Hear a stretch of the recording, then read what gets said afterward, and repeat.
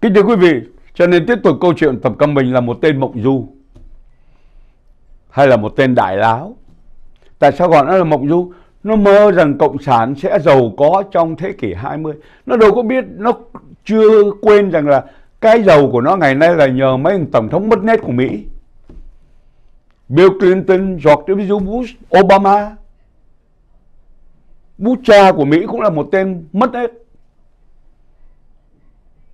Một lãnh tụ của Hoa Kỳ mà tâm hồn rất là bẩn thỉu. Trả thù Donald Trump. Đến nỗi mà chết đi còn không mời Donald Trump đến. Donald Trump vẫn đưa vợ đến và cho mượn tàu bay Air Force 1 chở xác về Capitol, rồi chở xác về Houston như là John McCain. Chúng nó là tiểu nhân mà lấy lòng tiểu nhân đo lòng quân tử của Donald Trump. Cho nên Tập Cẩm Bình nó nhờ mấy thằng mất nét ăn chơi này mà nó có tiền.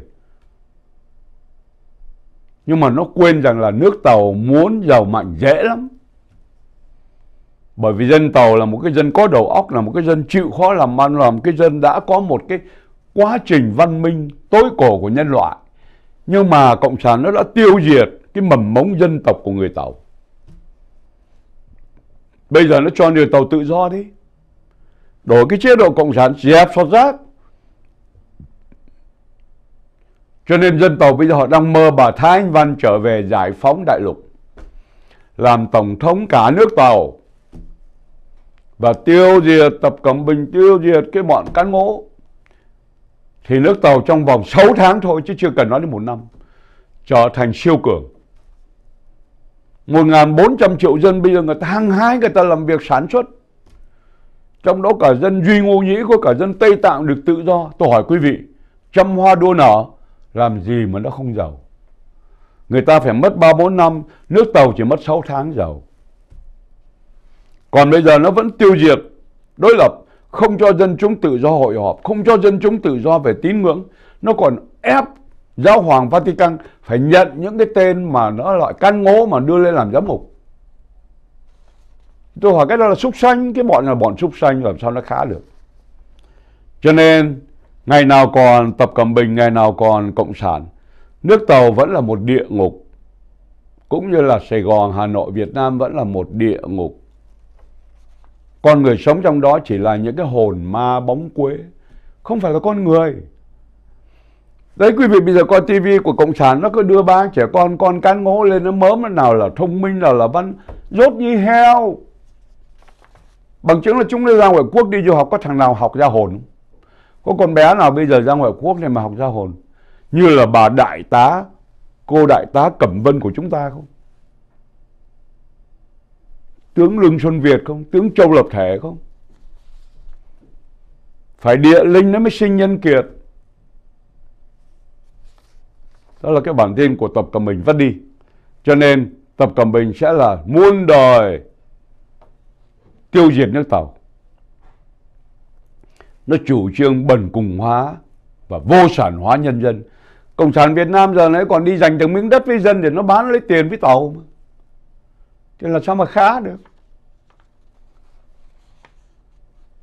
Lấy tiền của dân của Mỹ gửi về để cho nuôi đồng bào nó mua thuốc của tàu cộng, tàu cầm bình nó trích mà có phải nó mua một, hai viên nữa, nó mua hàng chục triệu viên. Trị giá hàng tỷ đô la. Đấy, đồng tiền đô la của người Việt gửi về tàu cộng nó xài như vậy đấy. Việt cộng.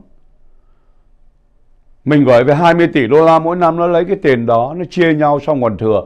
Nó bỏ tiền mua quan thầy thuốc trích ngừa trích đến đâu chết đến đó. Chích đến đâu là tiêu diệt đến đó. Dân chúng người ta sợ quá đến đó người ta không dám trích Chẳng ta phải bỏ tiền mua loại Pfizer, mua lại Moderna. Rồi nó bắt trước tàu cộng, tiêu diệt kinh tế, cấm đồng bào ra khỏi cửa 4 tháng. Giờ này người ta bỏ ra được, người ta về quê, người ta bỏ Sài Gòn, người ta đi như là một cái lũ ong mà nó vỡ tổ. Nó lãnh tụ cái đất nước kiểu gì? Ba hàng rốt như heo, ba hàng súc xanh. Rồi chúng ta có bản tin nữa. Đó là một cái tên, nó giết người vào năm 1985 nó hiếp dâm đàn bà năm 1986 93 rồi nó bị tù. Xong rồi năm 2000 nó được trở về. Nó lại hiếp dâm, nó bắt người, nó giết. Vào tù 40 năm trời. Năm 2020 vừa rồi nó tù được 27 năm được thả về sớm. Bởi vì cái đường lối của đảng có lừa bây giờ là ai tù, ai tội cứ thả hết. Ra ngoài đường kia là giết người hiếp dâm đầy đường. Là vì nó cần phiếu. Nó cần phiếu năm 2022 tới đây. Nếu mà quý vị không có thể nào mà canh chừng, quý vị sẽ là nạn nhân của những cái quỷ dâu xanh, những cái tội dâm tặc. Đó là câu chuyện của tên Eric Pearson năm nay nó 38 tuổi rồi hôm thứ bảy hôm 25 tháng 9 vừa rồi nó đã bắt cóc được người đàn bà tên là Eric à, uh, Vedicia là cô gái này người Lai Mễ. Rồi nó bắt cô ta đi rồi nó hãm hiếp xong rồi nó giết. Nó thả cô ta xuống cái lạch nước. Gia đình đi tìm không ra, cảnh sát tìm không ra. Đến hôm thứ bảy vừa rồi nó có cô bạn gái nó đến nhà cô bạn gái ở phía sau là cái lạch nước. Thì cô gái này mới nói rằng là anh ấy đến với tôi mà mắt anh cứ nhìn ở cái lạch nước. Xong rồi anh chửi thề. Anh bảo rằng Damn bitch thing. Bảo đúng là con quỷ này sao mà nó hôi thế. Thì cô ta mới nghe như vậy, cô ta mới nghi ngờ mới báo cáo với cảnh sát. Cảnh sát mới tới nhà khám và cho người xuống cái lạch nó mò lên thì tìm ra cái xác được cái cô Erica này. Và phải bắt cái tên Eric Pearson. Và y đã khai y ta đã giết cô bé này. Cô bé này năm nay mới có 32 tuổi. Để làm một đứa con 6 tuổi. Không có chồng. Coi như là bụi đời thôi. Thì cảnh sát điều tra và cuối cùng nó nhận tội là nó đã dùng cái tuôn vít nó đâm cô ta bốn nhát vào cổ và vào ngực sau khi nó đã hãm hiếp cô ta. Nó phi tang.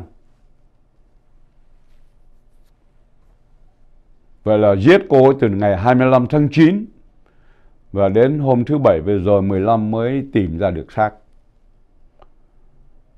Và tên này, cách đây 20 năm về trước, nó đã từng giết người hai ba lần và hãm hiếp hai ba cô. Và giờ này gia đình của cái cô Vedicia đang xin tòa phải tử hình thằng bé này. Nếu không quỷ lâu xanh này nó sẽ tiếp tục và nó sẽ bắt đàn bà con gái nó hãm hiếp rồi nó giết. Cái khốn nạn nhất cho mấy cái tên giết người là nó phi tang. Cho nên những người đàn bà con gái mà cứ ăn mặc lôi thôi, hở hang, cho mấy quỷ dâu xanh này nó giết là đúng rồi. Và đấy là một cái xã hội của nước Mỹ bây giờ nó loạn. Chicago cũng có, rồi New York cũng có. Câu chuyện này xảy ra ở bên Florida thành phố nó gọi là Fort Lauderdale và cái tên quỷ dâu xanh này nó cũng là người dân Florida và đã từng ở Louisiana. Bởi vậy cho nên quý vị phải rất cảnh tỉnh. Đàn bà con gái không nên ăn mặc khở hang đi ra ngoài đường. Đây là một cách vô tình mình chào hàng cho cái lũ quỷ dâu xanh. Nó thèm khát. Cơn dâm dục của nó nổi lên là nó bắt vào nó giết. Chứ không phải nó hiếp người ta rồi nó tha cho người ta sống. No. Nó hiếp xong rồi nó giết để mà nó phi tang. Và đa số những cô gái này có hình chụp, ăn mặc rất hở hang. Cũng như cái bà già 81 tuổi kỳ trước bị một tên dâm tặc, nó vào nó hãm hiếp bà rồi nó giết. Bà ấy là già, nhưng mà quý vị biết rằng người mập mạp xác thịt vẫn còn mà ăn mặc lôi thôi thì những quỷ râu xanh làm sao nó tha thứ? Nó phải giết. Nó giết rồi xong rồi nó còn cướp của. Đấy là câu chuyện mà chúng ta nghe cách đây 3 tháng. Con mà già 81 tuổi ở một mình, ở apartment, ở housing. Rồi cứ đi quen chơi mấy cái thằng trẻ con. Cứ gọi boy boy boy boy, rồi cuối cùng boy nó hiếp luôn và nó giết luôn rất là đáng đời. Rồi chúng ta lại có một bản tin khác nữa là bản tin à, đây là một cái điều hay. Tin này là rất hay. Một phái đoàn quay phim của Nga đã quay phim thành công trong 12 ngày khi được phi thuyền Soyuz trở lên trạm không gian quốc tế. Đây là một cái thành quả đầu tiên của thế giới có một cuốn phim quay ngay trên trạm không gian quốc tế International Space Station. Tài tử là cô nữ tài tử người Nga Julia Persin, năm nay 32 tuổi. Do đạo diễn là ông Klim Shinpenko, 36 tuổi. Và phái đoàn gồm có những nhà phi hành gia đang ở trên trạm không gian quốc tế. Họ quay được uh, trên 30 tiếng đồng hồ trong đời sống ở trên trạm không gian quốc tế và cuối cùng họ sẽ edit xuống còn 30 phút. Hy vọng trong một thời gian ngắn ngủi, hôm nay phái đoàn quay phim và tài tử đã trở về quả đất một cách an toàn.